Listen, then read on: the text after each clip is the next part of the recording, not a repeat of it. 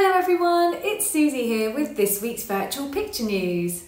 I really love an adventure and discovering new things and I've been over the moon learning all about this story. So let's buckle up and take a look at this week's picture. What can you see? Is there anything you like or dislike? Do you have any questions? Use the clues in the picture and some of the questions you have asked to make a prediction as to what could be happening in the news this week. Let's look at this week's story. The UK has a new astronaut currently training with NASA for the next six months.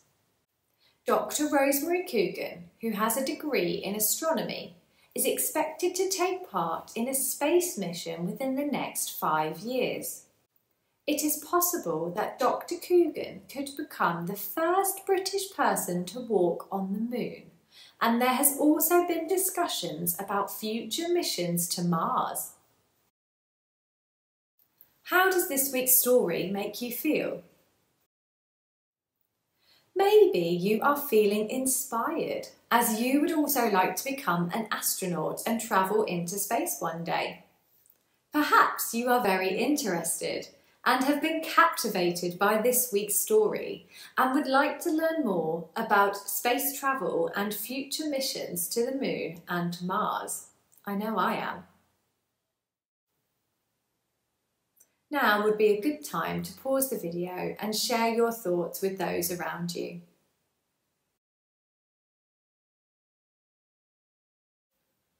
Let's look at this week's big question.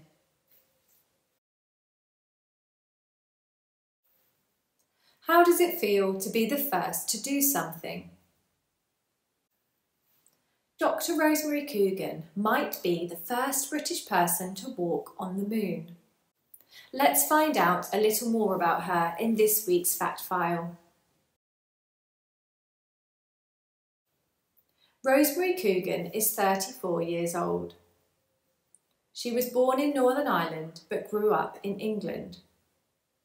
She is a trainee astronaut at the European Space Agency, which is also known as the ESA.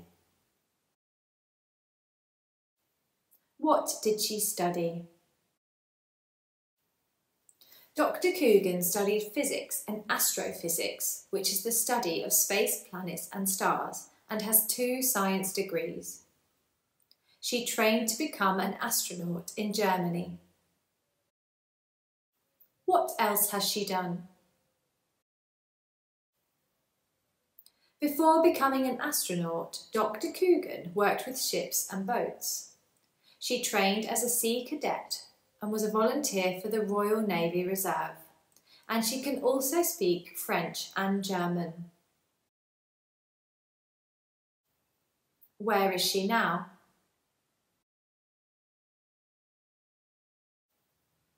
She is now training with NASA in Houston, Texas, USA, where she is learning how to live in space, use a spacesuit and stay safe in difficult situations.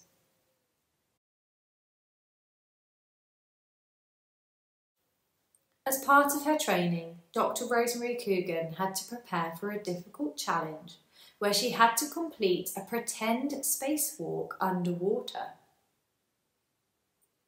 Here, she spent over six hours in a giant pool practicing what it would be like to walk in space. The pool, called the Neutral Buoyancy Lab, is at NASA's Johnson Space Center in Houston, Texas, USA. Dr. Rosemary Coogan spoke recently about a possible mission to the moon and shared her thoughts on being part of that. It's incredibly exciting that we as humanity are going back to the moon.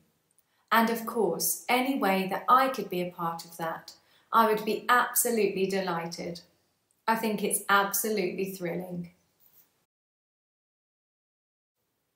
Would you like to experience going to space if you had the opportunity? Why? Have you ever been the first to do something? How did it feel? Imagine being the first person in your family to go to a different country or the first in your class to try a new sport.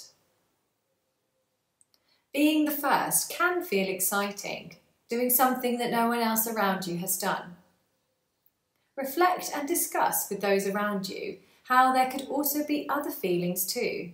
For example, it could be a little bit scary, but also think, what could some of the benefits to being the first be? Can you think of some examples of times others have been the first to do something? This could be someone famous or someone you don't know. What impact did they make? Take one last look at this week's picture and big question. Share your thoughts.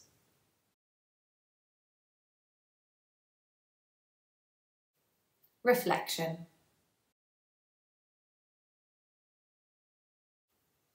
Being the first to do something can feel exciting, but may also be scary as you're stepping into the unknown.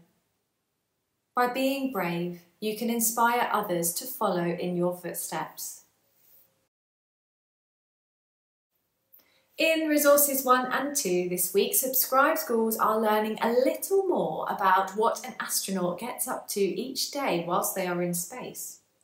And we also discover some of the other people who were first to do things.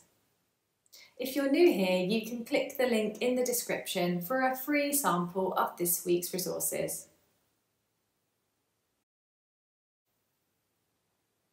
Which of the follow-up activities in Resources 1 and 2 will you complete this week? Perhaps you will create your own beautiful star constellation complete with a number pattern. Or maybe you'll create a wonderful courage tree to help inspire and encourage others to be brave if they are thinking of trying something for the first time. If you enjoyed this video, please give us a like, leave a comment and don't forget to subscribe so you don't miss next week's video. Thank you so much for watching and I'll see you next time. Bye!